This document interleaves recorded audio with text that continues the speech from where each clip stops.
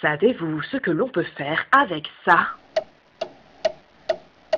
Eh bien, se meubler Éco du carton utilise du carton recyclé pour meubler ton intérieur. Table, chaise, meubles et lit, tout y passe Et oui, c'est possible, et même solide pour un lit en carton. Éco du carton, ça cartonne